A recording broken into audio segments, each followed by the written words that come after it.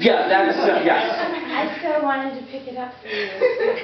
But then I was embarrassed. At some point, I was wondering, gee, that mandolin doesn't sound very loud. Maybe it's just me.